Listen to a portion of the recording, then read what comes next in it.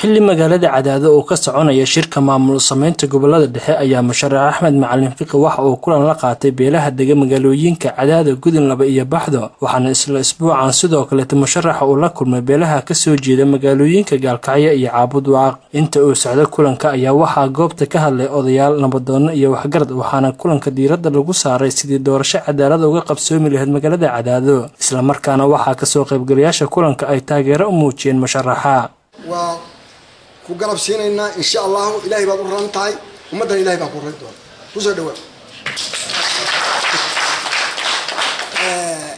intaas kabacdi waxaan ka hadlahayaa sidii la yidhaah loo doorto oo gobollada dhexe waxu doorteen waxbaa ka bedelan waxaa ka bedelan in musuq maasuqu beri horey oo dambeyn jiray musuq inuu soo hormaro.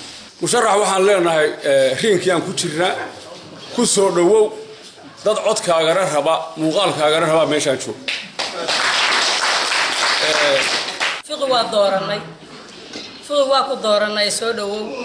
Anagoo ku hadlaya magaca ururka haweenka ximan iyo xeeb xusuusan degmada cadaado. Fiqi waa cadaado waa degan tahay. Waxaa li geelaydu geel waa wada jirtaa waana kala jirataa haddaad ku soo baxdo xilka aad doonayso ilaahay ha kula garab galo. Maxaad gabdhaha u ballan qaadaysaa? Maxaad siinaysaa? Inaad ka hadashaa? Waxaa la yidhi saddex nimaan aqoon lama raacaa la yidhi. Saddex nimaan aqoon lama raaco. Hadduusan ninku raadi diinka aqoon ama uusan rag aqoon ama uusan rabbigay aqoon saddexdaas ninku hadduusan mid aqoon hadduusan mid saddexdaas hadduusan aqoon lama raacaa la yidhi. Musharax marka hore waxaad ku soo dhawaataa saddexdaba inaad taqaanaan dareemaynaa axmed macalin fiqi oo hadal dheer ka jeediyey kulanka ayaa ka hadlay dhismaha maamul sameynta gobollada dhexe xaalada deegaanka iyo qorshihiisa waxqabad haddii uu ku guuleystay xilka madaxtinimada. Waxaan ku soo gunaanadayaa waan wada joognaayo waan joogaa deegaankan. Waxaana rabaa inaan ilaahay idankiis hantida deegaankaana aan lagu tagrifalin maamulkana aan qabiil iyo wadano gaara looga adeegan halkan waxa la yidhaahdo laba kun iyo lix iyo toban. Dadkii waxa wareeriyey oo dadka musharaxiinta qaarkood umaba jeedaanba laba kun iyo shan iyo tobantan.